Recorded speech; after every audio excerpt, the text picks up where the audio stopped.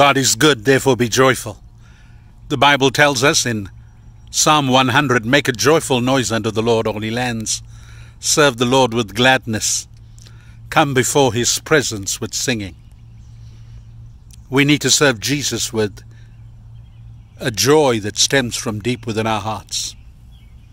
I remember my dad singing many times this song If you want joy, real joy, wonderful joy, let Jesus come into your heart.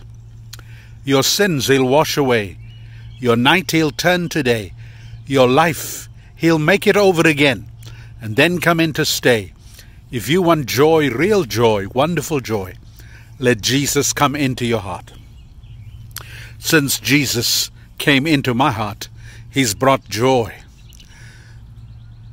I have joy like a fountain in my soul, a fountain that never runs dry. Some people serve God on a minor key. They complain about everything, like the children of Israel. They are never happy. They are out of Egypt, but Egypt is not out of them. The children of Israel were slaves in the land of Egypt, and God brought deliverance. But they just wanted to go back to slavery, just for spices like cumin and garlic. We don't appreciate the full meaning of freedom in the Father's house. If the Son sets you free, you're free indeed. We suffer from spiritual amnesia. We forget very quickly what life has been without Christ and how much joy Jesus brings. Nehemiah declared, The joy of the Lord is our strength. Nehemiah called on Israel. He said, Enjoy your bread today. Enjoy the sweet food you have today. Share with those who do not have. Remember, the joy of the Lord is your strength. I heard someone tra- uh, translate that verse as the enjoyment of the Lord is my strength. Do you enjoy God? You do you rejoice with unspeakable joy? And full of glory. The joy of the Lord is my strength. I believe there is a there is a relationship between joy and physical strength for the Christian especially. The more joy you have, the more physical strength you have. You'd find that happy people are not sick people. The Bible says laughter is like good medicine. Isn't that awesome? God's word is like medicine. It's a balm for my healing. I believe God's report. He says I am healed. All other reports God considers evil. I've already been healed. I've already been healed. God is the healer. He wants to bring joy into your life. Are you happy as a Christian? Is Christianity something you tolerate? Is Jesus someone you tolerate or do you celebrate him? Celebrate Jesus. Enjoy God. Man's chief purpose is to glorify God and enjoy Him forever, said John Calvin. Do you enjoy God? Is the enjoyment of the Lord your strength? I can guarantee you that you will have more strength. You'll be physically strong.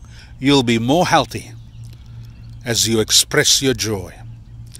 Peter reminds us we have joy unspeakable and full of glory. Isn't that awesome? When Christ empires your heart, when Christ rules your heart, the joy is an insatiable joy. The joy cannot be contained. We have joy unspeakable. Have you been so happy that words do not come out sometimes to express your joy? Sometimes you don't need words to express. Sometimes you just need to let go and rejoice in the goodness of the Lord. The Bible says the Lord is good, His mercy endures forever.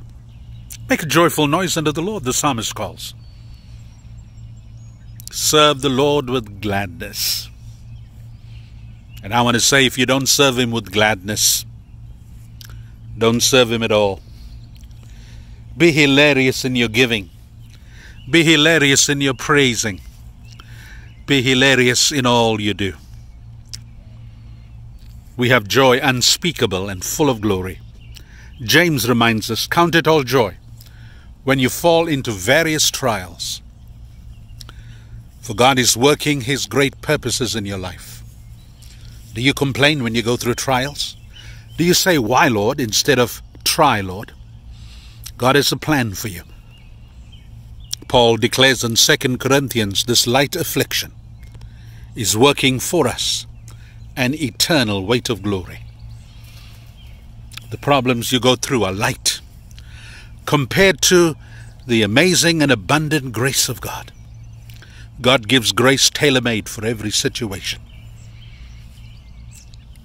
We have joy unspeakable and full of glory. In trials, we can triumph. Perhaps you're enjoying your state in life right now. I want you to seize the day.